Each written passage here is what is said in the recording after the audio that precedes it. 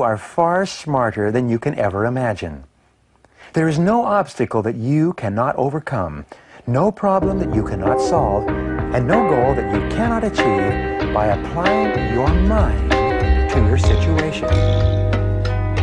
Go on and